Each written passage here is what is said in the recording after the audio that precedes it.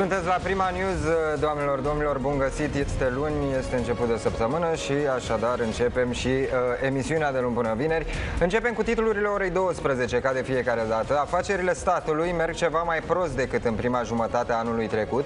Cele peste 200 de companii controlate de guvern, cele mai mari din portofoliul statului, au avut în prima jumătate a anului un rezultat brut de aproape 10,7 miliarde de lei, în scădere ușoară comparativ cu rezultatul record de 11,3 miliarde miliarde de lei înregistrat în primele șase luni ale anului trecut. În timp ce veniturile totale au crescut la 44,7 miliarde de lei, câștigul acestor companii a fost tras în jos de majorarea cu 1,7 miliarde de lei a cheltuielilor de natură salarială la 9,2 miliarde de lei, arată datele analizate de jurnaliștii site-ului Profit.ro. Jumătate dintre români consideră că statul are datoria să-i ajute indiferent de situație. Mai mult, peste jumătate dintre cei chestionați într-un un sondaj realizat de Inscop la comanda news.ro, cred că executivul trebuie să crească salariile chiar dacă economia scade, cu 20% mai mult decât acum 10 ani. Comparativ cu acum 10 ani, a crescut procentul celor care cred că în situații de criză trebuie mai întâi să se ajute singuri și apoi să ceară uh, sprijinul statului. Aceștia fiind persoane cu un nivel de educație mai ridicat, uh, locuitorul, uh, locuitorii din urbanul mare, cei cu un venit evident mai ridicat. Lucrătorii poștali protestează luni la Ministerul Digitalizării, reclamând lipsa unui sistem de salarizare transparent, motivant și nediscriminatoriu, ceea ce a făcut ca 80% din personal să aibă salariul minim pe economie, indiferent de funcție, studii, responsabilități, experiență profesională. Reprezentanții ai sindicaliștilor uh, intră la discuții cu ministrul Bogdan Ivan. Uh, Ministerul Afacerilor Externe anunță că 341 de cetățeni români, printre care și două grupuri de pelerini, au fost repatriați din Israel duminică prin intermediul a două curse Tarom, respectiv două curse operate de uh, o companie aeriană privată. Pe de altă parte, compania aeriană Wizz Air a anulat toate cursele către și dinspre Tel Aviv din cauza situației de securitate din zonă. Wizz Air îi uh, contactează direct pe pasagerii afectați prin e-mail sau SMS și le oferă oferă opțiuni pentru reprogramare sau rambursare, precum și pentru cazare, a transmis compania aeriană. Primarul capitalei, Nicușor Dan, a confirmat faptul că va candida din nou uh, ca independent la alegerile viitoare pentru București, cu susținerea, evident, partidelor care își doresc acest lucru. Uh, sunt lucruri pe care le-am început și pe care aș vrea să le terminăm, de exemplu, liniile de tramvai, a spus edilul, citat de Ager Press. Liderii OPEC se apără și spun că uh, petrolul și gazele nu ar trebui să fie stigmatizate în dezbaterea climatică uh, și ca industrie, uh, pentru că are un uh, rol de jucat într-o tranziție energetică ordonată. Continuăm cu sport. Uh, Dinamo a încheiat la egalitate pe teren propriu, scorul 1 la 1 cu CFR Cluj, iar Farul Constanța a învins în deplasare scorul 1 la 0 Oțelul Galați în etapa 12 din Superliga de fotbal, scrie primasport.ro. Încheiem ca de obicei cu informațiile meteo. Vremea se răcește și în jumătatea de sud și temperaturile coboară sub normalul uh, perioadei în toată țara. Va ploua slab în nord și în centru. Temperaturile maxime se vor situa între 8 grade în Maramureș și 20-21 de grade în Banat, sudul Olteniei și sud-vestul Munteniei.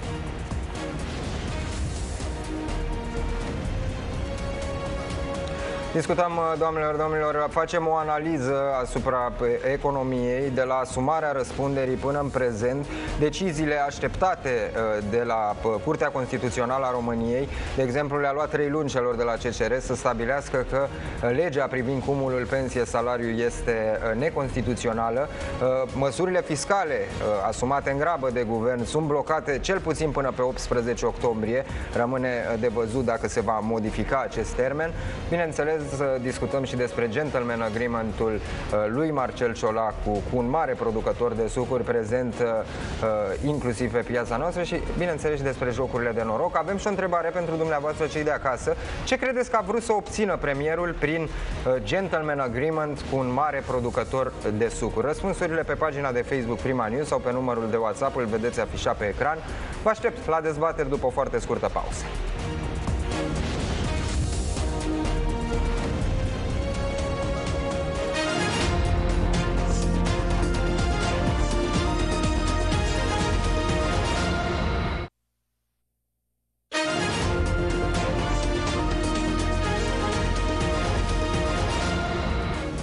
Ne-am întors în direct, doamnelor, domnilor. Cum uh, vă spuneam înainte de pauză, vă propunem mai multe subiecte în această oră, cât a mai rămas din această oră. Avem pe de-o parte măsurile fiscale asumate în mare grabă de uh, premier.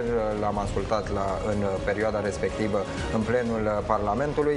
Ei bine, măsurile fiscale sunt pe masa CCR în momentul de față și la decizia CCR așteptată pe 18 octombrie. Dacă vor exista amânări, dacă vor fi constituționale, rămâne, rămâne de văzut. Pe de altă parte, guvernul își propune reforma jocurilor de noroc.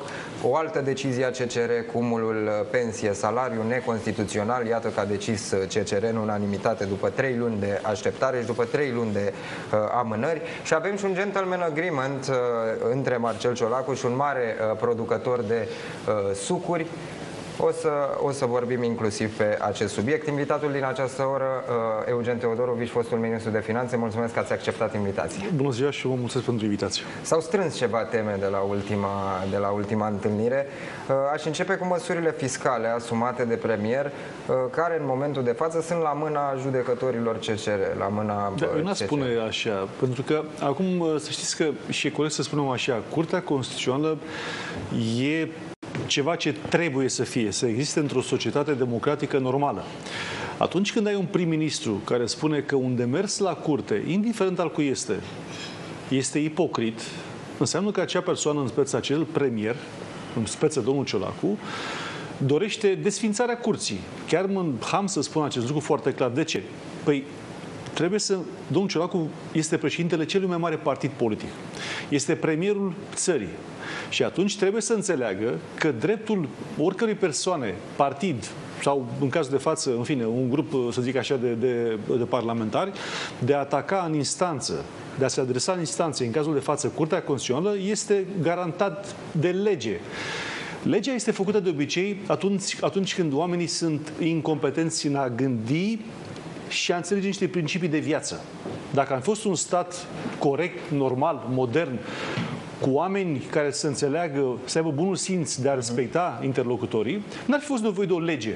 Am știut cu toții ce pe timpuri existau legi, acele, acele întâlniri ale înțelepților aveau cumva undeva ceva scris, până și în șatra de romi astăzi, dacă o să mergeți, să vedeți că sunteți judecat corect pentru că sunt niște principii peste care nu se După trece. Niște legi nescrise, exact, practic, exact. Dar... Dacă, da, pentru că trăim într-o pădure și normal că și uscăturile, din păcate, sunt mai multe decât pomii înalți și verzi și, uh, și mai departe în creștere, e nevoie de legi. Dar uite că și cu legile astăzi, de multe ori, mare parte dintre ele sunt foarte bune, clare și de bun cu bun simț. Numai că aplicarea lor lasă de dorit. Deci, uh, de mers, orice atac la îndreptare către curte, acțiune la curte, la instanță, este normal pe lege garantată. 1. Doi la mână. Există și antecedente la domnul Ciolacu pentru ca oricine să creadă că la curte își poate găsi dreptatea. De ce? Cum ați spus, uh, legea uh, privind cumulul pensiei cu salariu a căzut la Curtea Constituțională, făcută de domnul Ciolacu. Legea pensiilor speciale, făcută, garantată de domnul Ciolacu, a căzut la Curtea Constituțională. Și mai sunt altele în, în istoria parlamentară a domnului Ciolacu, făcute sau gerate de domnia sa. Ceea ce ne arată clar că există toate premizele, nu mai spun că există și elemente legale în acest pachet sau acea lege de, de 82 de pagini a domnului Ciolacu, o invenție monstruoasă a cuiva de undeva, dar asumată de domnul Ciolacu, așa, pe economie, pe tot, absolut tot, să cadă la Curtea Constituțională. V-am spus, cel puțin un, un element este acela uh, cu cele șase luni de zile uh, până la sau în care nu ai voie să faci modificări sau da, ca, care trebuie să treacă pentru ca o modificare să producă efecte în economie. A încercat Boloș la finanțe să facă ordonanță de urgență, dar Ministerul Justiției a spus este neconstituțional și a scos-o din joc. De ce? Boloș încerca să facă temei legal pentru ceea ce Ciolacu... aplicate de la o lună exact, la alta. făcea în Parlament. Căzând acolo uh, ordonanța de urgență, implicit ce este în Parlament nu mai are temei legal să se producă acele modificări cu șase luni de zile. Asta este ca formă. Ca fond este ceea ce domnul Ciolacu propune acolo ca și modificări de taxe, impozite, o aberație. Deci, uh, uh, odată, repet, acest este o... Eu, cum să vă spun, e această cutumă, sau în fine, această idee în România, domnule, politicienii nu au voie să pronunțe vis-a-vis de deciziile curții. Nu e adevărat. Eu am să mă pronunț întotdeauna. Dacă nu cred că o soluție este, a, că o aplic, e logic să o aplic. Pe ce, pe dumneavoastră, dacă oprește poliția și vă dă puncte de suspendare să vă ia permisul, nu jurați? Și Dă ai ți-o dreptul să permisul, asta contezi. ești pieton și îl înjur de, ma- de așa până du- dacă ai ești dreptul înapoi. să Și în contezi. fiecare zi când pleci când ești pieton. Asta e treaba ta ce faci. Asta este. Deci, domnule, foarte bine. Domnule, trebuie să comentăm. De ce să nu comentăm? Suntem o țară liberă, nu suntem soldăței. Dar aplici ce spune legea, legea cum este ea. Strâmbă, bună, legea este lege. Nu-ți convine, trebuie să o schimbi. Și dacă majoritatea decide să o schimbe, asta este. Deci, eh, din punctul meu de vedere, această lege la Curtea de Constituțională va fi respinsă, dar nu că sunt de vină judecătorii. Nu este blocată legea la, la CCR. Oamenii ea fac ce legea, Constituția le dă și le, le conferă dreptul de a face.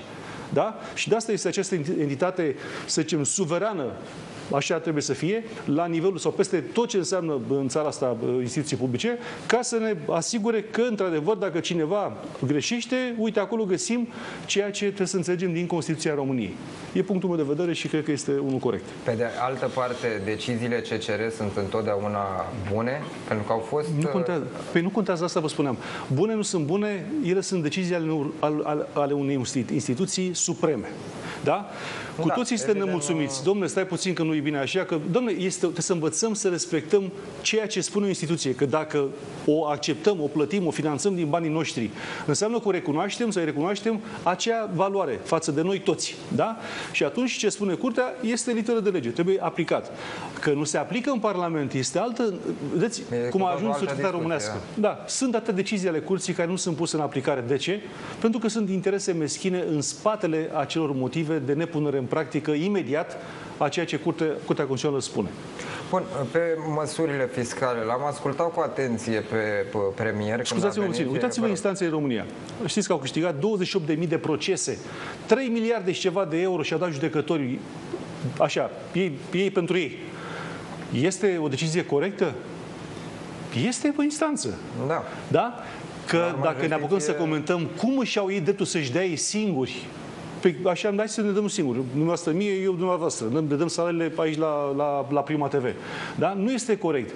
Dar dacă știm că nu este corect și avem tăria să spunem că nu este corect și să ne unim să facem să schimbăm lucrurile, atunci putem schimba și nu mai lăsăm magistrații să aibă, să fie Dumnezeii Dumnezeilor și, din păcate, în România să stea oamenii în pușcărie nevinovați, firme să fie distruse și, repet, atâta timp cât există un singură, o singură viață de om, da, afectată de statul într-o închisoare, nejustificat, după care tot instanța spune că acea persoană este nevinovată, o firmă distrusă și multe, multe alte, și multe altele în, în această societate distruse, înseamnă că ceea ce spune este corect. Când vor dori să ne uităm la ei ca la zei, să fie totul lacrimă în spate.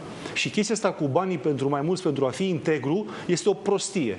Integru ești dacă te naști și ești integru. Pe ce eu, ca ministru de finanțe, când aveam 11.000 de lei pe lună salariu net, însemna că trebuia să mă apuc de furat? Da, corect. Sau care este nivelul de integritate pe care instanța ar trebui să-l aibă ca să fim siguri că nu pleacă nimeni la pușcărie nevinovat?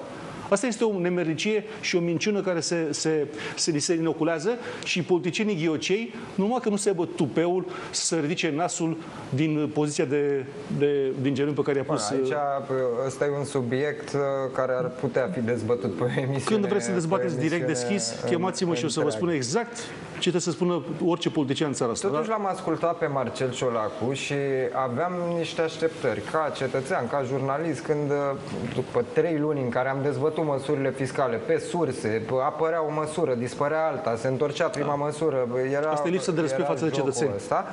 L-am ascultat când a venit în uh, Parlament să-și asume, să-și asume răspunderea și am auzit același discurs pe care l auzisem și în cele trei luni. O să facem, o să luăm de acolo, o să facem reforma, dar nu ni s-au prezentat niște linii clare. Domne, luăm de acolo, facem în partea De ce? cealaltă. Adică n-a fost explicat Dar documentul, de ce asta? documentul respectiv. De ce asta? Haideți să vă spun eu, că eu sunt trecut prin, să zic, furcile caudine, să zic, din 91 încoace, da? Sunt uh, hârșit. În primul rând, presa. Presa român, din România ori s-a dus în jos ca nivel de pregătire, de expertiză pe zona economică, pe zona nu știu care, integritatea și codul de conduită deja sunt uh, chestii așa, repet, și nu toată presa, dar cum spune lumea despre politicieni, atunci hai să ne apucăm să generalizăm. Da? Uh, nu mai pune întrebări. Nu mai să că e pe premier, pe ministrul X, pe ministrul Y. Domnule, stați un pic. Eu mi-aduc aminte ce întrebări îmi puneau mie la finanțe. Mă luau și cu tare. Nu mai spun că multe dintre ele erau niște întrebări, te, te uitai la respectiva persoană și, băi, tu ai trecut pe la școală? Da, stăteai frumos, întrebai, pentru că era vorba despre cel care primea mesajul la da. capătul firului, da? de cetățean. Și atunci, măcar cetățeanul, făceam apel la cetățean, ca văzând întrebările puse și răspunsurile mele date, să înțeleagă despre ce este vorba. E, din păcate, acest lucru nu mai există. Știm cu toții de ce anume nu mai există. Pentru că este o coaliție împotriva firii, da? Dacă era o coaliție pe aceeași culoare, roșu, galben, PNL, PSD, dar spusă înainte, înainte populației, înainte de, de vot, atunci era ok.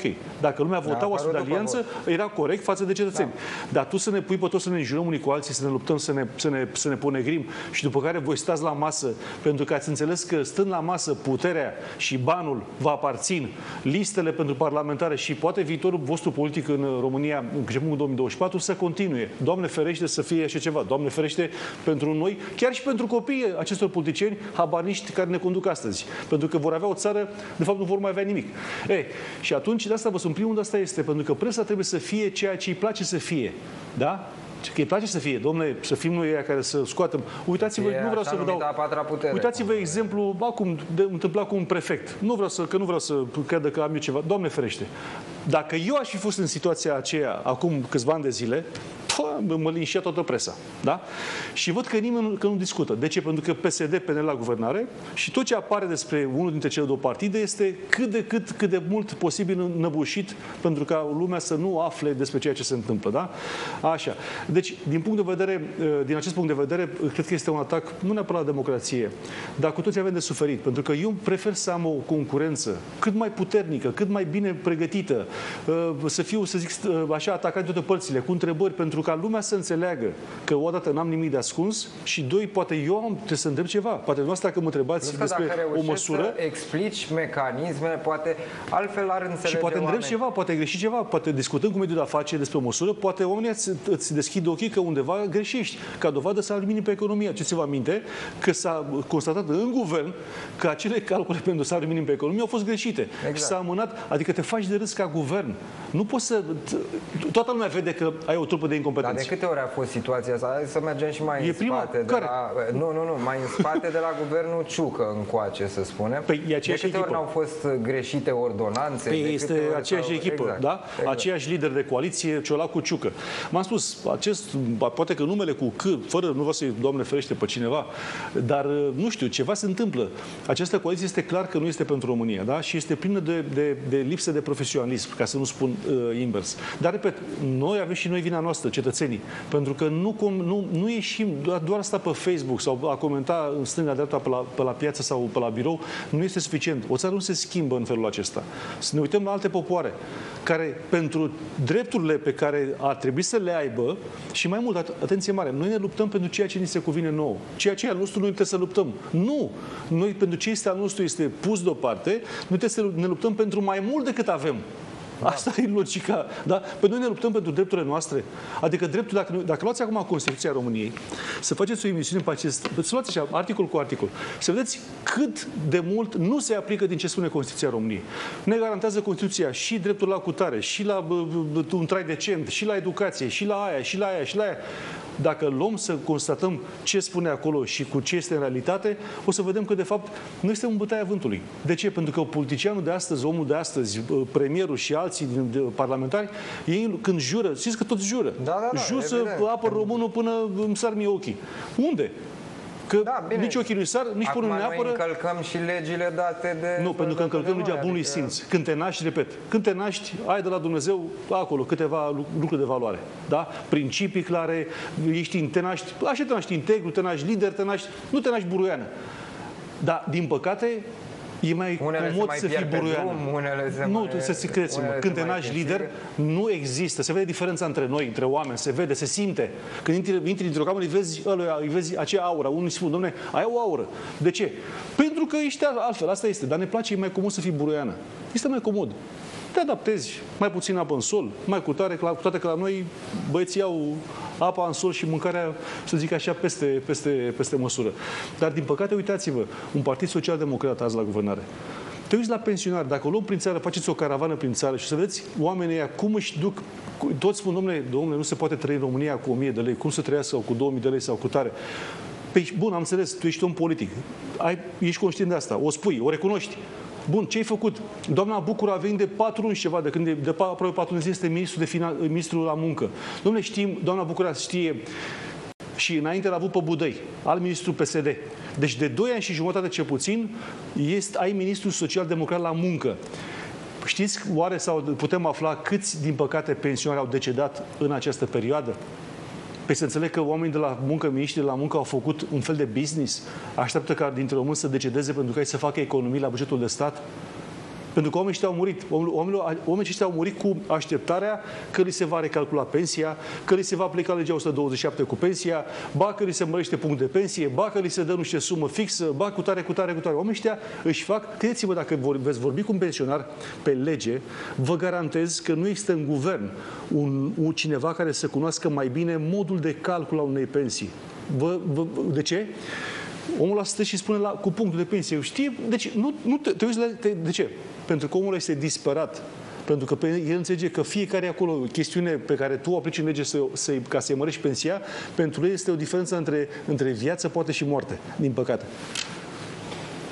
Bun, uh, ca să concluzionăm subiectul acesta, pentru că mai avem și altele de, de dezbătut, uh, credeți că cel puțin pe anumite elemente, ați enumerat câteva, n-ar trebui sau nu să treacă de Curtea da, Constituțională. Deja au început să scoată. Uitați-vă că au făcut ordonanțe de urgență pe lângă, deja s-au aprobat da, da. ordonanțele, da. au scos de acolo anumite prevederi.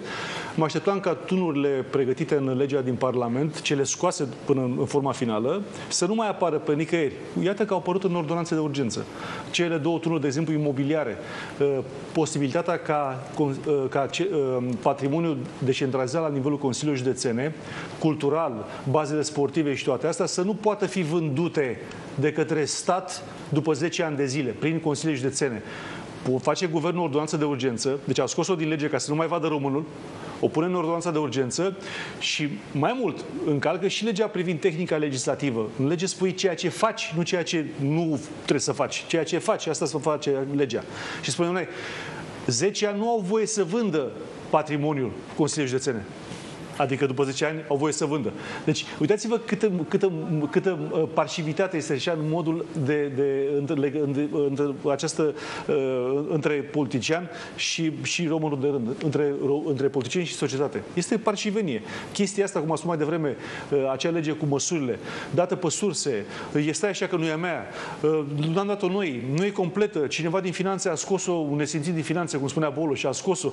Băi, stați un pic. Tu trebuie să ieși să spui clar, domnule, este a noastră sau nu este a noastră. Și Noi, guvernul, asumăm sau nu. dintre ele s-au regăsit și păi, bineînțeles, final, exact. Adică... Deci a fost doar o testare a pieței să vadă exact oamenii dacă e unul mai vocal, mai vorbește. Eu am vorbit despre aceste tururi mereu. Au scos, m-am bucurat. Zic, bă, uite, au ținut cont. Da? Le-au băgat în ordonanță de urgență plus ADS-ul. Contractele, cei care au contracte cu ADS-ul, le pot cere prelungirea cu 15, la, cu 15 ani de zile, cu 15 ani, nu mai mult de 49 acumulat, dar doar dacă ai 3 ani de zile de contract mai cu ADS-ul. Păi și dacă am un, mai am un an de contract, Păi eu știu că faci tu această ordonanță, eu sunt în contract, mai am un an de zile de contract cu ADS-ul, am utilaje pe câmp, am mii de hectare în uh, administrare, în concesiune, îmi plătesc toate redevențele, pot lucra pe momentul cum s-a văzut pe contract, mi-a respectat contractul, de ce să nu pot și să cer prelungirea? Este clar că e cu o dedicație. Da? Uh-huh. Deci uh-huh. sunt tunuri de tunuri, pentru că probabil că ăsta este mandatul lor la, la guvern. Fiecare demnitar are o, un to-do list. De la cineva, de undeva. Da? Asta este Bun. Uh, jocurile de noroc. Ați fost, o prostie. În, ați fost în guvern, da, este o prostie. de finanțe, fie... Ce vrea să facă domnul Ciolacu este o prostie. Este o prostie. Să uite, Există astfel de șantaje? Să meargă naiba în Berlin, să vadă în Berlin, în Berlin, te uite, că alte orașe, mai dau și alte exemple. În Berlin, intri într-un restaurant, culmea în centru, de lușa departe, la intrarea la, la către baie, ai, să spunem, două, trei dale pe perete în care joci. Deci omul zice la baie, vrea să, nu știu, orice. O, nu asta e problema. Tu problema nu este să interzici, întotdeauna trebuie să înveți un lucru. Nu, ă, diminuarea unui fenomen nu se face prin interzicere. Niciodată. Pentru că s-a dovedit în timp, în ani, în, în istorie, și când a fost cu alcoolul, da? cu prohibiția, cu toate astea. Dom'le, piața neagră crește în momentul acela. Piața neagră are interes să lovească să lovească, să te pună să faci astfel de legi. Piața neagră i-a făcut domnului uh, Marcel Ciolacu presiune ca să dea această ordonanță, exact această ordonanță. Mm-hmm. Pentru că sunt interese, de asta spun. Uitați-vă în Parlament, dar cei de la DNA dorm. Dicotul la fel, probabil. Domnule, uitați-vă să vedeți fiecare inițiativă legislativă. Ce are în spate? Cine o promovează? Cine aduce anumite modificări? Păi, asta e o chestie simplă. Deja e evident, pentru că acolo sunt niște, niște deștepți. Niște, nu sunt niște fenomene, să zic așa, ale naturii, ca să știe, să fie atât de abil încât să nu te prinzi. Este evident, e o prostie crasă acolo. Îi prinzi, așa, trebuie să, ai grijă să nu faci năvodul foarte mare, foarte mic, pardon, că îți rupe plasa. La câți corupți prinzi din Parlament și de prin, de prin guvern. Deci, cu jocurile de noroc, repet, uh, vorbea de doamna Odet, da? Nestor. Nestor. Domnule, doamna respectivă, când eu eram la finanțe, uh, dânsa lucra sub, era sub coordonarea mea. Respectiva doamnă a adus 160 de milioane de euro la buget prin schimbarea mecanismului de la acea vreme, da? Uh-huh. Adică de ce să o cheme domnul Ciolacu să discute, dar să vedem și noi. Da? Pentru că de multe ori oamenii nu reacționează. Mie dacă făcea Ciolacu treaba asta, și la propriu și la figurat, două pălmuțe, dar n-avea, n-avea aer, cu toți PP-ul lângă el. Deci, dar oamenii zic, bă, nu mă bă, las, îmi place, e premier, cum să mă bat cu premierul? Pe cum când ăla îți spune în toată țara, și toată lumea, bă, cine mă odet respectiv? Cine, de aceea a făcut aia, mafiotă, cu jocul de noroc. Nu, nu te-a pus să faci astfel de afirmații, mai ales încă ești premier, pentru ce ești câțu, care spunea despre mine că sunt spion rus. Cine ori ai transponas, ori ești mai, mai, mai tare decât masa asta. Da? Ca să faci astfel de afirmații dintr-o poziție oficială. Atenție mare, ești, ești, bă, ești numărul 1 la nivel de guvern, numărul 2 în CSAT. Adică ai acces la toate informațiile. Dacă nu ai, ori el la care trebuie să te informeze e la fel ca tine, ori tu, cealaltă la, dar ai pus, ai pus informare invers. Tu ai cine e asta, mă? Ce lăsați și pe asta în pace. Că oamenii te informează, că nu sunt, ea știu și fac tema. Îți dau cu tare, cu tare. A, că dacă tu stai la șpriț în weekenduri și nu lucrezi decât până la 5 ziua, normal că nu ai timp să citești și lucrurile acestea. Că de, de genul mânăgrimă cu Coca-Cola. Tu ce prostie asta? Deci tu spui așa, bă băieți, îmi cer scuze că am dat uh, acea crește de taxă, TVA, cum spune el în fine, pentru băuturile cu conținut ridicat de da. zahăr, da? Foarte bine. Mai că trebuia să facă nu TVA, trebuia să pună o taxă. Eu am făcut această propunere la finanțe, îți dace acolo, la deci cameră. Și nu din TVA. Când ajungi la TVA la 19% și vrei să o mai, mai taxezi în plus, ce faci? Faci TVA-ul la 21%, la 22%? Nu, nu te legi cu TVA-ul te legi cu o taxă care vine peste băuturile da. cu conținut ridicat de zahăr, da? Așa. E, și tu îi spui, domnule, ne cerem scuze că am făcut-o, dar lasă că vă dăm ajutor de stat. Mă, mă, mă Marcel, dar cum dai tu ajutor de stat așa de la tine? Există un temei legal, un cadru legal prin care uh, companiile din România care pot să, vor să primească ajutor de stat pot să o facă. Mai mult, vezi că tu până la final de an spune pieței mediului privat că cei de la finanțe nu mai au niciun leu, niciun leu păi pentru ajutor de stat. Vorba, pentru că și trebuie la mână. să uh, vedem gentleman agreement-ul ăsta și în context. Dar nu există asta prostie. Acum... Dar dacă vine, de ce nu face un astfel de agreement cu o firmă românească? Păi, a, a, una, da. asta ar fi una dintre întrebări. Sau dacă, este, parte... dacă produce băuturi nocive pentru sănătatea copiilor noștri, de ce mai dai ajutor de stat? Exact. Pe de altă parte ne uităm la, la tot contextul ăsta creat uh, tot nu, de, Asta e pufuleți. De... Ca Marcel Ciolacu și, Marcel Ciolacu și pufuleții. Cam așa. Papagalia de, de piariști de la el, de la guvern, plătiți regește, că acum na, au căzut cu banii, au căzut în grămada cu bani. Da. Și normal că pleacă băieții cu buzunarele ca țigăncile cu florile, cu alea, că nu se supără fetele pe mine, că ne știu. Din, din, eu sunt prieten cu, uh, cu fetele din, uh, din Coșbuc, din piața de Coșbuc, ne-am văzut și eu flori, recunosc. Da? E, vin fetele alea cu șorțurile, dau frumos lui, lui Marcel, unde bagă băieții bani ca la, ca la așa, fără limită. E, deci, astea sunt elemente de campanie. Oia, oamenii de acolo vor să-l pună pe Marcel ceva cu altfel în fața noastră decât este. Da? Hai, oprește la pufuleț, ia un pufuleț, ia cu tare și de departe, fă aia. Dom'le, sunt false, se vede. Lumea îl vede, îl simte. Pe cum a fost și cu metrou? Cum, cu, me- fost... cu metrou, cu avionul, domne, plec cu haine, cu trans, geanta de rafie după mine. Bă, băiatule, tu reprezinți România, mă. Lasă ne rafia. Știu că așa ești, așa ți felul, dar lasă rafia deoparte, acum ești premierul țării. Nu faci tu ca Cioloș, la economic. Bă, băiatule, tu stai la e-business și reprezinți pe Olaf Scholz când era viceprim-ministru, vicecancelar. Era ministru de finanțe. Și veneam, ne întâlneam împreună la întâlnirile, să zic așa, lunare, la, la, guvern, la, la BEI, la toate astea. Ne întâlneam când eram în, în, Ecofin, ministru. Da. Exact. Nu ne venea ăla cu aer, avea aeronavă personală. Pe aeroport eu veneam cu cursa de linie, ăla vedea frumos, bă, bun de cu tare, aeronavă specială pentru el. Avea mașinile cu... Na, era și vicecancelar, e adevărat.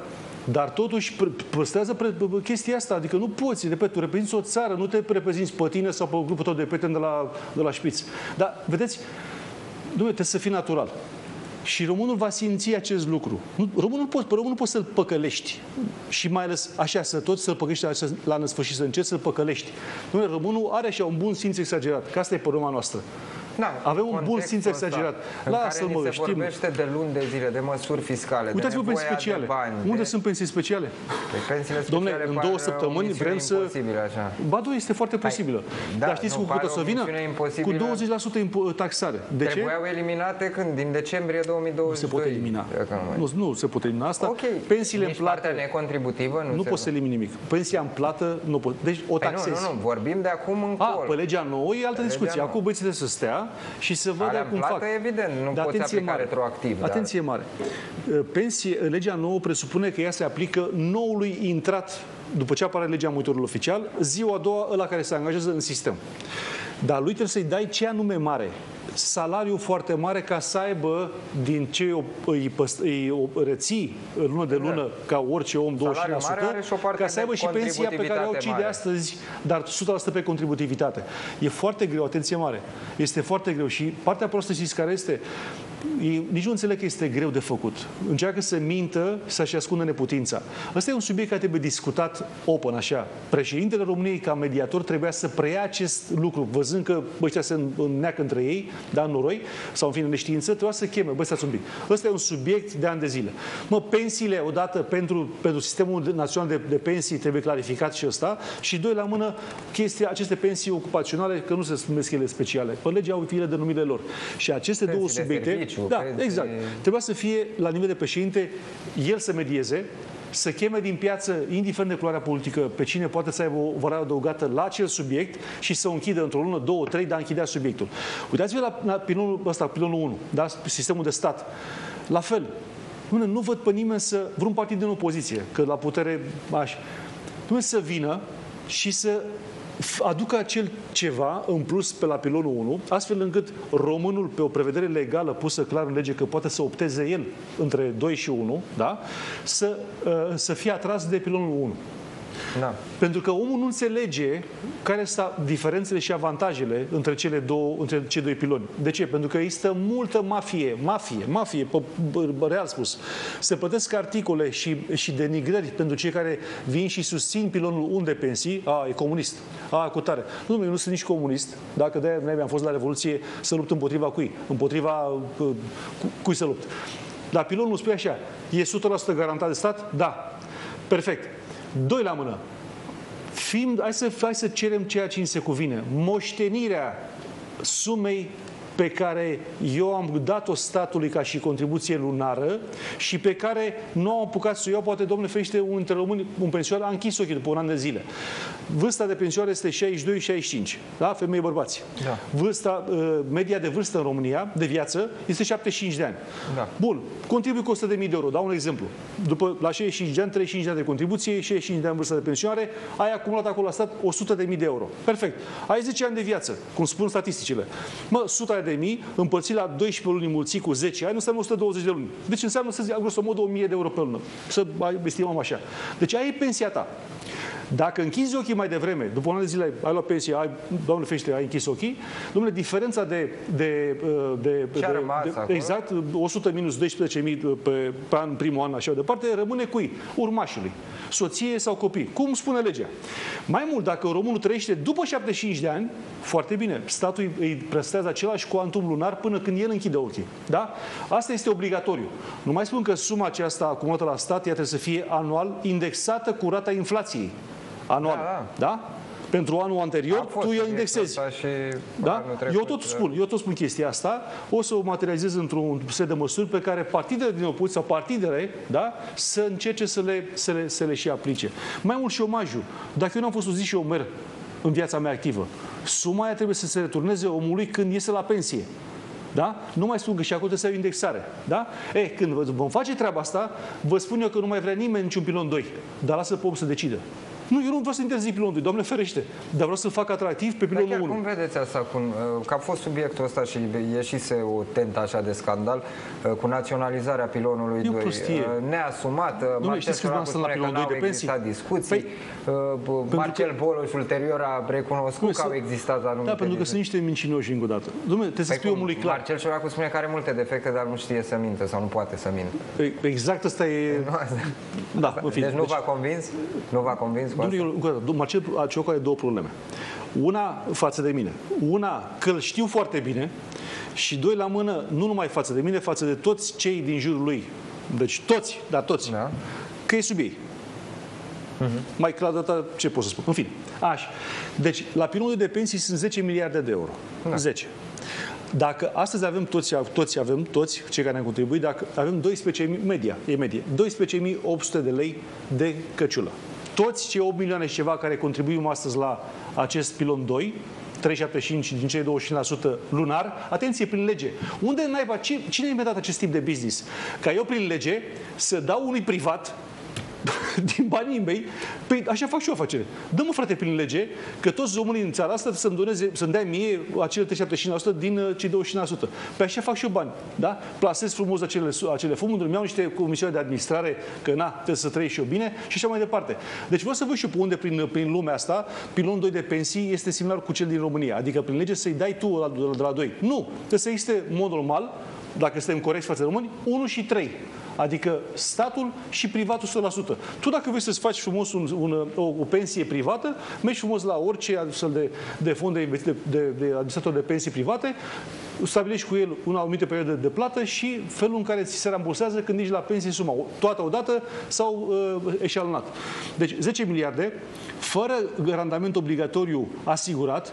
Astăzi am spus, dacă astăzi ieșim toți la pensie, acești bani nu ajung pentru toți, atenție mare. Deci, cu alte cuvinte, suma nu mai este cât a fost ea atunci, s-a dus în jos, pentru că au făcut plasamente proaste cei de la fondurile de pensii, cei șapte administratori.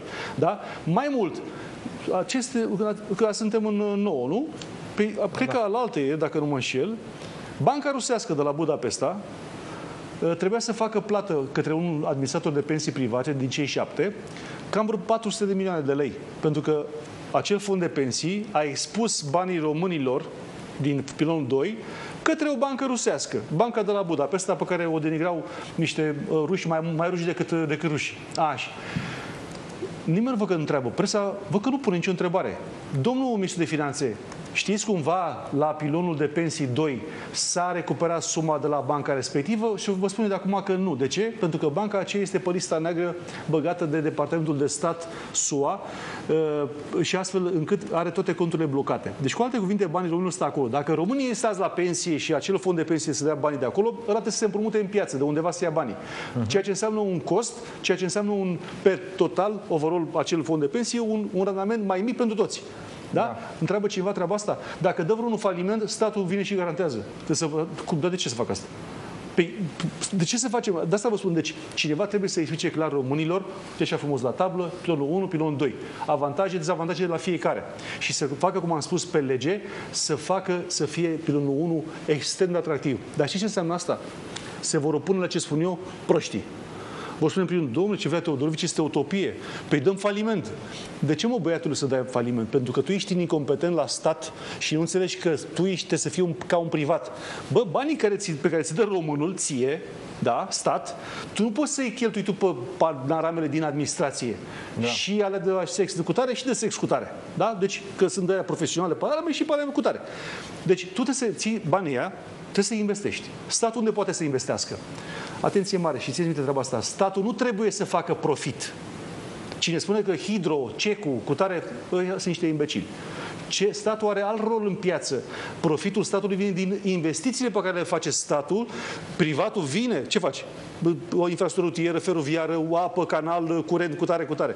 Ca privatul să vină, să fie atras, regim fiscal, cum trebuie ca să vină străinii să vină să investească. Toate, deci tot ce înseamnă asta. Ăsta e statul. Și atunci, venind privatul și investim puternic, economia ta crește, iar tu la, stat, la bugetul de stat acumulezi așa acele venituri. Nu Foarte că faci scurt, profit. în 30 de secunde. Dar ce asta e deja lecția, asta e deja Foarte scurt, în 30 de secunde, pentru Harvard că nu mai pentru avem Ciolacu. timp, cumulul pensie-salariu neconstituțional. Da, normal. E de bun simț. Noi, toți care au semnat pe aceste legi neconstituționale trebuie să plece din funcție. De la guvern, juriștii, de la ministerele, pardon, de la ministerele de linie, justiție obligatoriu, ministerul care a inițiat Ministerul Muncii, da, uh, guvern, Parlament, pentru că au dat avize, atenție mare, au dat avize ca fiind constituțională legea. Dacă ți-a spus curtea că acea lege a picat, toți cei mari, acești specialiști pe drept, trebuie să plece acasă. Păi, eu ce încredere mai am că dă un aviz de legalitate așa cum trebuie? Foarte bine a, a picat, e normal. În schimb, atenție mare, tu stat poți să faci altceva. Cumul pensia cu salariu, în zona de stat, spui, când n-ai voie să, îndrept, să grești dreptul omului la muncă, e dat prin Constituție. Domnule, la stat, Cine iese cu pensie de genul ăsta, specială, de exemplu, îi spune așa, domnule, ai și la 45 de ani. Foarte bine. Eu la 45 de ani ție îți dau ce ți se cuvine pe sistemul național pentru 45 de ani lucrați. Sau vine că te-ai lucrat în, în ea 45 de ani de viață. Partea de special ți-o dau când faci vârsta de pensionare, 65 de ani dacă ești bărbat. De atunci vine partea ta de special. Atunci respectiva persoană va fi obligată să se angajeze că nu mai e special să stai acasă, Bun. să merg la pescuit. Nu mai avem uh, timp, rămânem cu concluzia aceasta. Mulțumesc Când? Uh, mult de tot și mai facem Dați-i uh, Luciolacu, dați-i, dați file-ul ăsta frumos să vadă, să tăguiți-l când sperăm puneți emisiunea. Sperăm să ajungă la Ajunge sigur, dar... și, să, și sperăm că o să ia în considerare cel puțin sfatele. Pentru binele nostru ca popor și pentru a lui ca, un, ca, un, ca politician. Și pentru binele PSD-ului, la care eu țin în continuare. Vă mulțumesc mult de tot, domnule Teodorovici. Ne revedem după o scurtă pauză cu titlurile orei 13.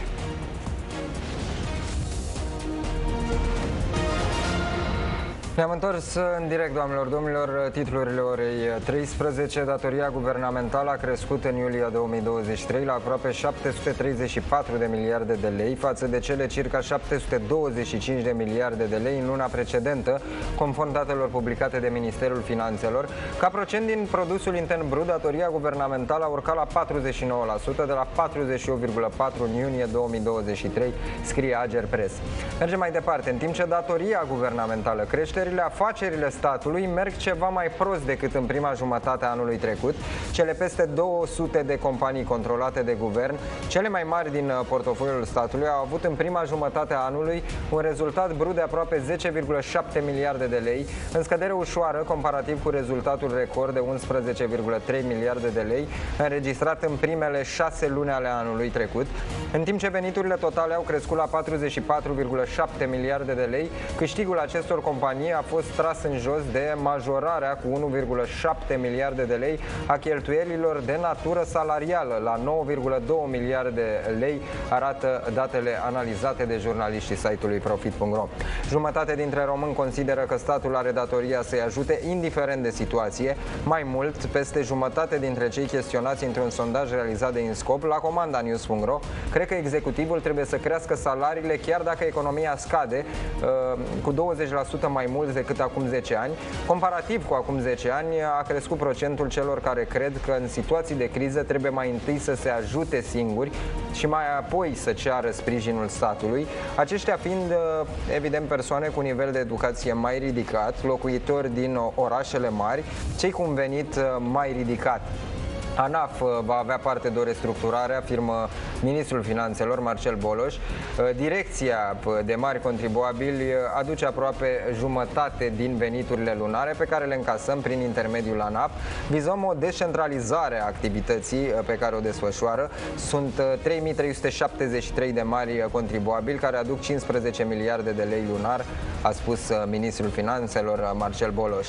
Mai anunță că 341 de cetățeni români, printre care și două grupuri de pelerini au fost repatriați din Israel duminică prin intermediul a două curse Tarom, respectiv două curse operate de uh, o companie aeriană privată. Pe de altă parte, compania aeriană Wizz Air a anulat toate cursele către și dinspre Tel Aviv din cauza situației de securitate din zonă. Primarul capitalei Nicușor Dan a confirmat faptul că va candida din nou ca independent la alegerile viitoare pentru București, cu susținerea partidelor care își doresc acest lucru.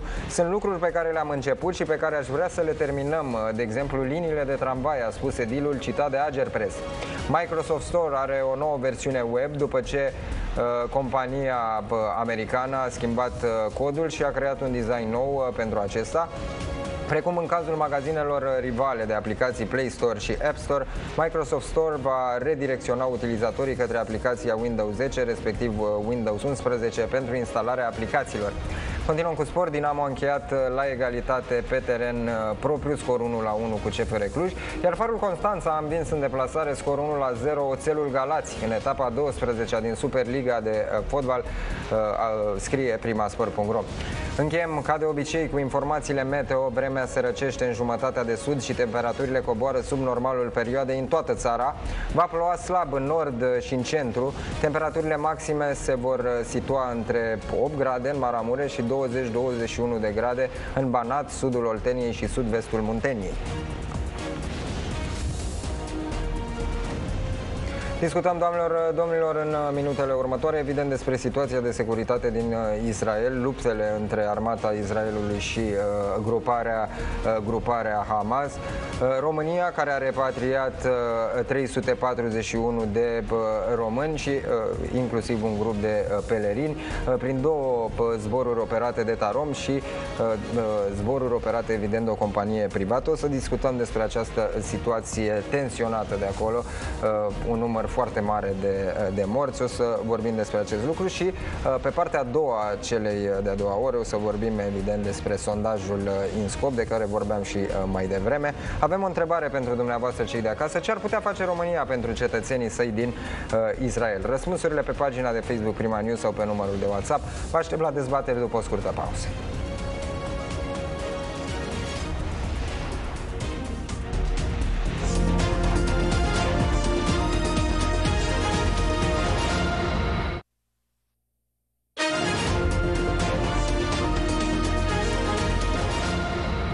Ne-am întors în direct, uh, doamnelor, domnilor, uh, invitații din prima parte a, acestor, uh, a acestei ore. Prin Skype, analistul de politică externă, Alexandru Lăzescu. Mulțumesc că ați acceptat invitația. Mulțumesc și eu pentru invitație. Și prin telefon, analistul militar și colonelul în rezervă, Ion Petrescu. Mulțumesc, domnule Petrescu, că ați acceptat invitația. Am onoarea să vă salut și să vă mulțumesc frumos pentru invitație. Uh, domnilor, uh, uh, o să încep prima dată cu domnul Petrescu o analiză militară, din punct de vedere militar. Am fost luați prin surprindere de o multitudine de evenimente și de știri negative, tragice. Pare că toată atenția s-a mutat spre Israel și este bine să se întâmple acest lucru. Avem și declarații ale liderilor europene, ale liderilor țărilor uh, lumii care uh, o parte și-au uh, prezentat sprijinul pentru Israel. Evident avem și state care sprijină mișcarea Hamas, cum ar fi Iranul, da? Dar am fost luați prin, prin surprindere, domnule Petrescu, pentru că a venit așa, din, de nicăieri, da, un atac foarte puternic al grupării Hamas, Uh, și iată că Israelul, dacă ar fi să citesc din, uh, din uh, premierul Netanyahu, se află în război. Iată că este a treia zi, practic, de război, de sâmbătă, duminică și astăzi continuă atacurile. Am urmărit imagini și de noaptea trecută din fâșia Gaza. Sunt niște atacuri foarte puternice. Cum, cum vedeți? În primul rând trebuie să precizăm că nu avem toate datele problemei, adică nu avem o explicație oficială la întrebarea firească de ce Mossadul nu și-a făcut datoria. Exact. Era recunoscut ca cel mai puternic serviciu de spionaj din lume și de data asta n-a oferit datele așteptate nici conducerea armatei israeliene Sahalu, IDF, adică Forțele de Apărare Israelului, dar nici premierului și practic Israelul a fost la prin surprindere. O explicație pur tehnică ar putea fi că piesele de artilerie ale mișcării Hamas erau de mult timp poziționate în locuri pe care probabil militarii israelieni le-au considerat a fi inofensive. Și atunci n-a fost decât o deplasare a personalului la aceste piese de artilerie și au executat cunoscutele trageri asupra localităților uh, israeliene, cu victime, din păcate, și această dramă sigur că a cutremurat uh, lumea. Dar trebuie totuși să fim obiectivi. S-a reiterat o situație care se repetă la un anumit uh, interval de ani și asta pentru că nu s-a rezolvat problema instituirii respectului reciproc între comunitatea palestiniană și comunitatea israeliană. Negocierile diplomatice de până acum n-au făcut decât să constate stări trecătoare și nu au rezolvat problema de fond. Populația palestiniană trăiește într-o sărăcie cruntă, iar uh, uh, dorința de a se reveni la perioada pe care au trăit-o părinții actualilor cetățeni, când aveau acolo casele lor, pământurile lor, este evidentă. Sigur că ei se uită către israelieni ca la niște ocupați și din perspectivă pur istorică, dacă ne referim la perioada post-belică, cam așa stau lucrurile. Sigur, Israelul este un stat modern, o forță pe plan economic, cu influențe geopolitice clare și cu reușite tehnologice uh, de referință. În același timp, cine a organizat această operațiune a avut în vedere faptul că între Statele Unite ale Americii și Israel există un parteneriat strategic și acesta poate fi subminat în uh, concepția inițiatorilor, cel mai probabil Moscova și Iran, printr-o lovitură uh, dată uh, sub centură Israelului. Practic, apărarea israeliană a fost dată peste cap și celebrele imagini cu luptătorii Hamas care treceau cu parapantele peste zid arată că sistemul nu a funcționat. pentru, cei, pentru cei care nu știu, Eh, tot zidul, eh, tot zidul israelian este supravegheat prin camere video. E o unitate specială, am fost acolo și acea unitate specială este condusă de un ofițer femeie și are la pupitre, la calculatoarele respective, numeroase componente ale armatei israeliene. Deci e o unitate cu un specific aparte. Greu de crezut că n-au știut din timp uh, venirea acestor parapante zburătoare. Sunt uh, necunoscute care ne invită la reflexie. Cine, cum, când și de ce a ascuns asemenea acțiuni care erau clar în uh, defavoarea statalității israeliene. Bun, aș vrea, aș vrea o analiză și din perspectivă politică, pentru că spuneam și mai devreme, uh, liderii, uh, liderii lumii și-au uh, arătat sprijinul de o parte sau de, de alta. L-avem pe președintele Joe Biden, care a promis un sprijin de muniție, armament, poate și sprijin financiar pentru armata Israelului, pentru Israel. Dar cum se, sau ce schimbă la nivel politic, la nivel de politică externă, domnule Lăzescu, Uh, această declanșare uh, a unui nou conflict, spunea și domnul Petrescu și este adevărat, odată la ceva timp, iată că mai sunt uh, confruntări de acest gen între, între Israel și gruparea, gruparea Hamas și m-aș duce și mai departe pentru că sunt atacuri și din, din nord, da, din zona Hezbollah. Vă rog. Da, deocamdată din Hezbollah e, încă sunt atacuri, dar nu e un atac masiv. Lucrurile s-ar complica foarte mult dacă s-ar întâmpla lucrul ăsta. Dar, uh, apropo de întrebarea dumneavoastră, noi trebuie să vedem ceea ce se întâmplă acum în Israel, trebuie văzut prin cu totul altă lentilă. Nu e o chestiune care ține de războaiele, să zicem, de atacuri teroriste clasice. Uh, eu aș, în opinia mea, nu este decât parte, un, un fel de simptom al dezi dezintegrării actualei uh, ordini mondiale. Sigur, avem o, un prim exemplu în războiul din Ucraina, avem acum acest război, care nu este un război între Hamas uh, și Israel, este un război între Iran și Israel în fond, pentru că este prin uh, intermediul acestor grupări teroriste, Hamas și Hezbollah, și care, a cărui țintă, și asta cam toată lumea uh, spune chestiunea asta, este să uh, încerce să blocheze, să, să suspende sau măcar să, să distrugă ideea un, unei alianțe între Israel și uh, țările sunite, în special, uh, sigur, sunt țările din Golf, Arabia Saudită e un stat foarte important, dar și Egiptul. Uh, aceste acorduri, așa numitele acorduri Abraham, au fost începute în perioada lui Donald Trump Uh, și ele vizau normalizarea, așa numita normalizare a relației între uh, statul Israel și statele arabe. Uh, și motivul era foarte simplu și aici s-a trecut, eu aici am o părere ușor diferită față de chestiunea statului uh, palestinian. Sigur că în teorie s-a mers pe această idee timp de decenii.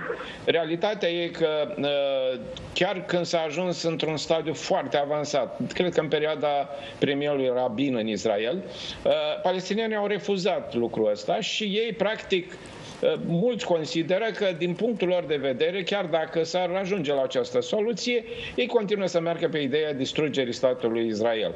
Asta vrea și Hamas, asta spune, pun în mod explicit și liderii iranieni. Liderii iranieni discută despre anihilarea statului Israel și, eh, din acest punct de vedere, chiar eh, încercările acestea de a merge pe, pe, în Cisjordania și în Gaza, din păcate acolo în Gaza din 2005, practic, israelienii au, au predat uh, gestiunea teritoriului autorității palestiniene. Numai că aceasta a pierdut controlul peste 2 ani în fața grupării Hamas, care practic controlează, controlează în acest moment uh, toată fâșia Gaza. Și mai trebuie spus un lucru, uh, ceea ce... Deci sunt cel puțin două complicații, cum am spus. Dorința Iranului de a bloca, de a bloca aceste acorduri, pentru că evident nu-i convine. Aici probabil intervine și Siria, dar mai puțin contează, Iranul în principal. De altfel, un articol articol din, uh, din apărut azi noapte, în, uh, mă rog, azi noapte la noi, în Wall Street Journal, practic uh, dă indicii foarte clare că toată această operațiune, care a fost extrem de complexă, n-a venit din partea Hamasului, a fost orchestrată de Iran, de la Teheran, de, de gărzile islamice. În cursul unor întâlniri se, se spune că toată planificarea a fost, o, a fost o operațiune extrem de complexă.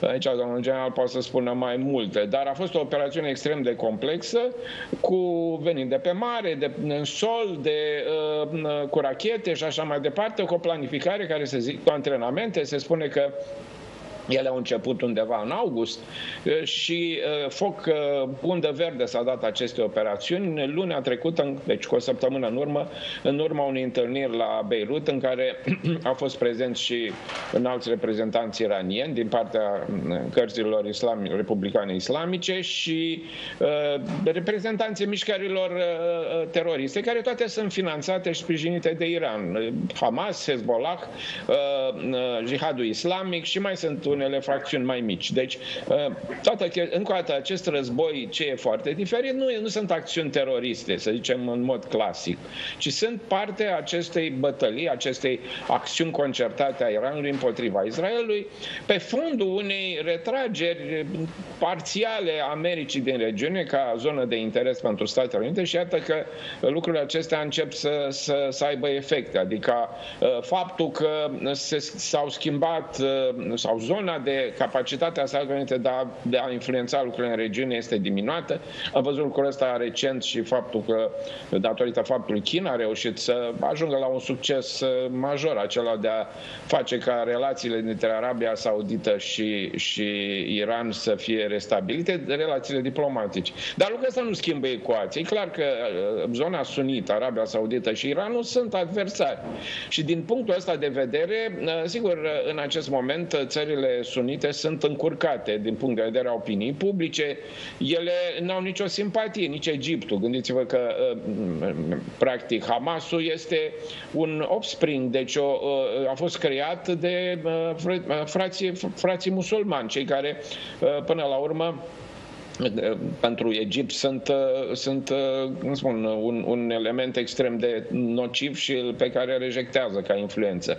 La fel Hezbollahul, deci nici Arabia Saudită, nici tot acest, tot acest com, uh, peisaj complex cu Yemenul, cu unde iar o bătălie între Arabia Saudită și Iran, toate astea creează un cadru exploziv până la urmă și foarte complicat. Iar ca, ca o altă observație importantă, din păcate lucrurile nu țin numai de mișcările teroriste. A fost o îndoctrinare generală în zona palestiniană, în special pentru tânăra generație. Să nu uităm că nu numai în Gaza, dar și în West Bank, deci în Cisjordania, cei care făceau atacuri sinucigașe erau, mă rog, lăudați și familiile primeau stimulente financiare. Adică s-a făcut, a fost un tip de, de propagandă și de îndoctrinare internă care va fi foarte greu de gestionat, pentru că nu e vorba numai... Sigur că populația, se vorbește, că populația în, în Gaza practic a suferit din cauza Hamasului. Hamasul, pe toți banii veniți naiv din zona,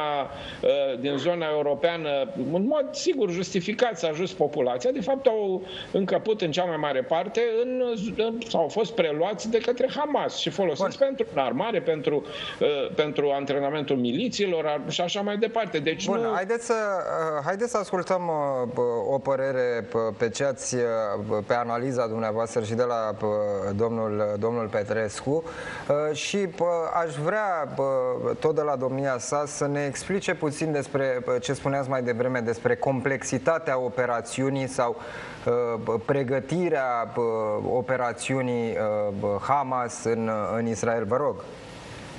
Da, sunt trei lucruri de precizat. Într-adevăr, uh, au existat rețineri la formarea statului palestinian, dar trebuie spus adevărul. Adică Israelul a cerut palestinienilor să nu aibă armată dacă se înființează statul palestinian. Și atunci, da, palestinienii au refuzat acest lucru. În al doilea rând, uh, sigur că lucrurile de la ora actuală pot fi îndreptate doar prin negocieri și primele negocieri care trebuie să înceapă, place sau nu, sunt negocierile pentru eliberarea ostaticilor, da. care sunt cu sutele în partea uh, Hamas. Din acest punct de vedere, armata israeliană a declarat chiar ieri, printr-un purtător de cuvânt uh, împuternicit de ministrul israelian al apărării, ca un negociator specializat pentru asemenea situație de criză. În ce privește operațiunea de traversare a zidului, aceasta într-adevăr a fost foarte bine gândită și s-a luat în calcul că, într-adevăr, armata israeliană nu avea un uh, dispozitiv menit a contracara asemenea tentative de trecere cu uh, parapanta.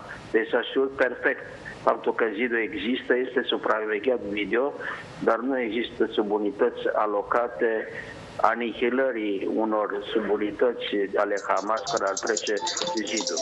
Deci o minte bine documentată, un militar cu experiență, probabil din unitățile speciale armate iraniene, a pus la cale acest plan. Restul a fost o chestiune de antrenament local. Bun, uh, avem și o declarație recentă a premierului. Marcel Ciolacu spune că un român a murit în, uh, în Israel. Cel puțin acestea sunt uh, cifrele până în acest punct. Domnule Lăzescu, cum ar trebui să se poziționeze România și care sunt efectele asupra noastră? Ce ar trebui să facă autoritățile de la București pentru cei blocați acolo sau pentru cetățenii români care au familie acolo, să spunem, vă rog?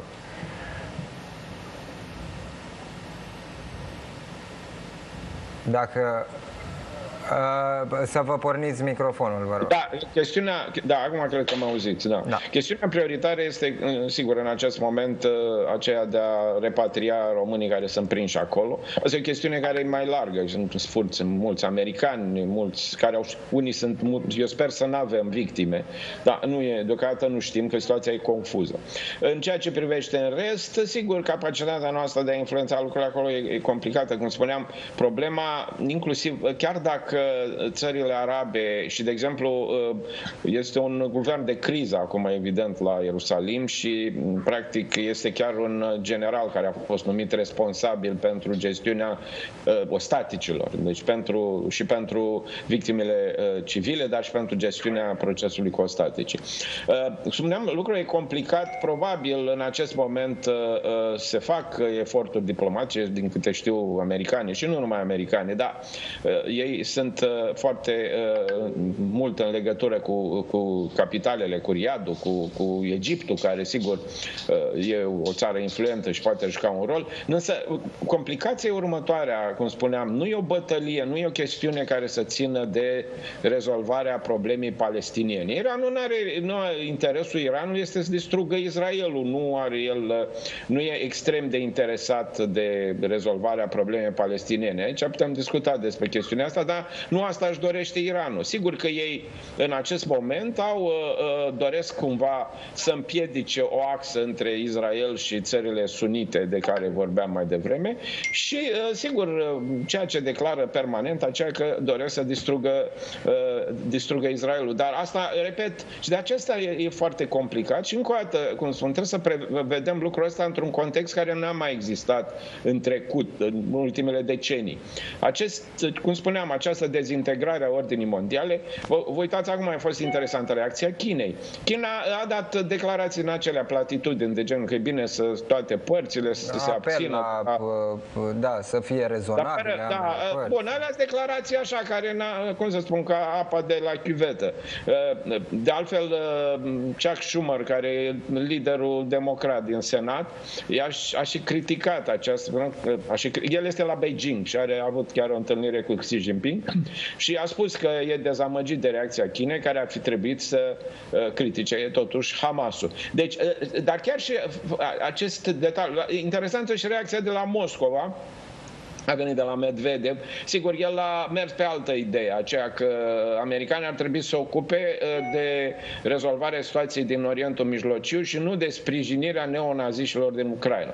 Evident, lucrul ăsta va avea consecințe, pentru că, vedeți, toate, toate lucrurile astea sunt în, într-o, trebuie privite în, în corelare. Avem conflictul în Ucraina, avem acest conflict major, repet, între Iran și Israel și între Iran și alte țări. Nu, nu e vorba de pur și simplu de o acțiune teroristă. Avem situația complicată din zona Taiwanului, care nu știm când poate exploda oricând. Avem uh, tensiuni în peninsula, în peninsula coreană. Deci, practic, suntem într-o situație și tocmai asta e extrem de îngrijorător și uh, asta ne privește pe toți, pentru că această dezintegrare a ordinii internațional, vedem Consiliul de Securitate practic nu mai contează, nu prea a contat el nici înainte, pentru că era totdeauna erau blocaje de o parte și de alta. Deci avem o situație în care nu există practic uh, o, o formule instituționale de, de gestiune a acestor conflicte. Sigur, uh, sunt toate lucruri, termin imediat, sunt aceste discuții diplomatice, dar ele, ele au, uh, au, evident, sunt uh, extrem de limitate din perspectiva posibilor efecte. Vă mulțumesc mult, domnule Lăzescu, vă mulțumesc și dumneavoastră, domnule Petrescu. Dacă doriți să mai adăugați ceva ca o concluzie, domnule Petrescu. Da, vreau. Da. S-a vorbit la un moment dat de faptul că America s-a retras din zonă. Aș semnala totuși, pentru ca să rămânem obiectivi, că există o puternică bază aeriană americană în Israel, care a fost instalată în interiorul unei baze militare aeriene israeliene. În al doilea rând, decizia Pentagonului de ieri de a trimite portavionul George Ford cu tot grupul naval către apele maritime ale Israelului și știm că un portavion are la bord nu numai avioane de luptă de tipul F-16, ci și infanteriști marini, arată determinarea Statelor Unite ale Americii de a rămâne un judecător atent, obiectiv, care poate să invite la masa negocierilor tripartite americano-israeliene, palestiniene, pe reprezentanții celor două comunități aflate la ora actuală într-o vizibilă opoziție. Cred că zilele următoare ne vor oferi multe surprize din acest punct de vedere. Bun, vă mulțumesc. Plăcute. Vă mulțumesc, domnule Petrescu, și vă mai așteptăm zilele următoare pe măsură ce apar uh, date noi, uh, pentru că este un conflict în desfășurare și evident o să urmărim uh, îndeaproape, îndeaproape subiectul și vom mai, apela, vom mai apela la analiza dumneavoastră. Vă mulțumesc mult de tot pentru intervenție. Cu respect, am vă salut. Uh, doamnelor, domnilor, uh, cum spuneam și mai devreme, urmărim în continuare acest uh, subiect și o să fie dezbătut și în programele următoare aici la Prima News de colegii mei și o să urmărim evident cu atenție și vom dezbate subiectul și zilele următoare pe măsură ce apar informații și date noi de acolo din, din Israel și pe marginea acestui conflict. Vă propun pe final o temă ce ține de România, un nou sondaj în Demoscop uh, la comanda colegilor de la News.ro. Jumătate dintre români consideră că statul are datoria să-i ajute indiferent de situație. Peste jumătate cred că guvernul trebuie să crească salariile chiar dacă economia scade, uh, procentul fiind cu 20% mai mare decât acum 10 ani. Invitații pe acest subiect din partea USR, Radu Panait prin Skype. Mulțumesc că ați acceptat invitația. Bună ziua, mulțumesc pentru invitație. Bun, și prin telefon din partea Partidului Social Democrat, Mirela Domnica, îi mulțumesc că ați acceptat invitația. Bună ziua, mulțumesc și eu pentru invitație. Uh, în primul rând, o părere generală, așa cum, uh, cum comentați asta, că jumătate dintre români consideră că statul are datoria să-i ajute indiferent de situație, uh, dar și mai important, zona asta de salarii, care ar trebui să crească chiar dacă economia scade și e foarte interesant că procentul e cu 20% mai mare decât acum, sau sunt cu 20% mai mulți respondenți care consideră acest lucru față de acum 10 ani. Ce arată acest lucru? Că față de acum acum 10 uh, ani s-a degradat puterea de cumpărare sau uh, că statul nu s-a îndreptat într-o direcție potrivită? Cum, cum, vedeți, uh, cum vedeți rezultatele acestui sondaj în linii mari? Doamna Domnică, vă rog. Uh, da, eu am citit cu atenție cifrele sondajului, m-am uitat și pe alte, alți indicatori și anume că a crescut numărul celor care preferă să aibă un job mai prost plătit, dar mai stabil.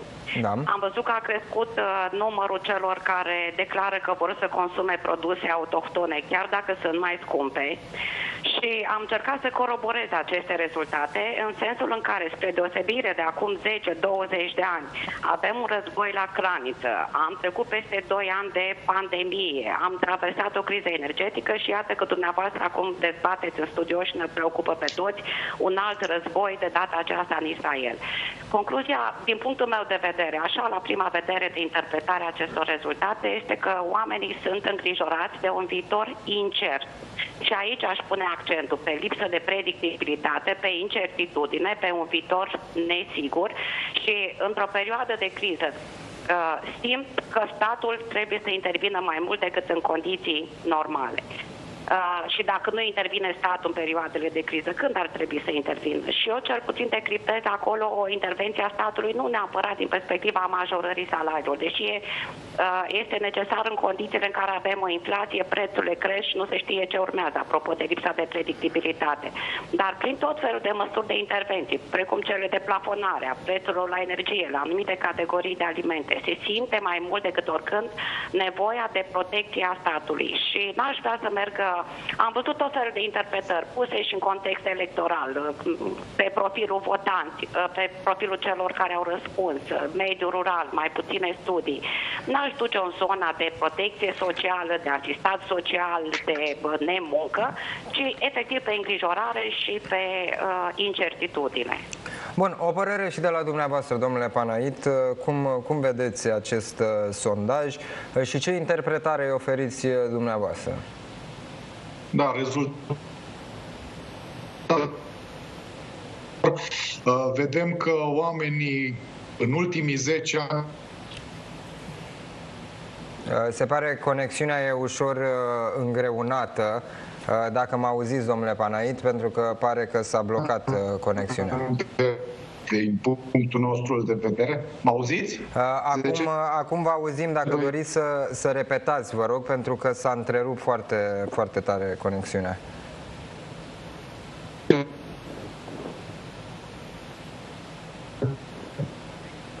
Bun, refac, refac, colegii, refac colegii legătura cu domnul... care i-a învățat pe oameni cu Alo? Acum, acum vă auzim mai bine.